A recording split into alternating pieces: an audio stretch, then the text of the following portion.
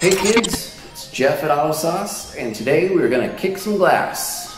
I'm gonna show you how to use my Salsa Verde glass cleaner, and we're gonna clean some windows.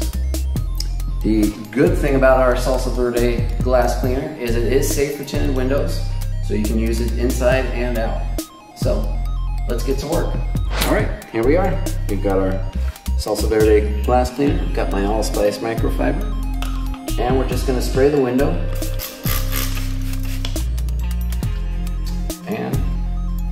I'm just gonna go back and forth.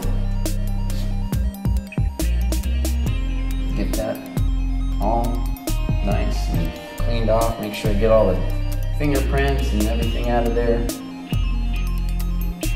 And you notice, I'm only going back and forth.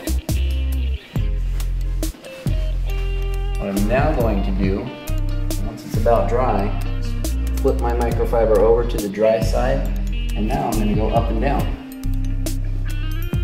This is going to do is help eliminate all of the streaks.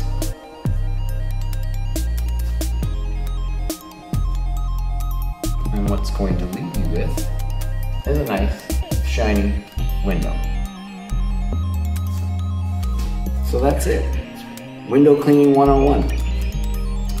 Head over to our website, pick up a bottle of the Salsa Verde glass cleaner, pick up an allspice microfiber. As you can see, I use these in a lot of videos. They're really good microfibers. So pick some up, get sauced, and we will see you on the next video. Thanks for watching.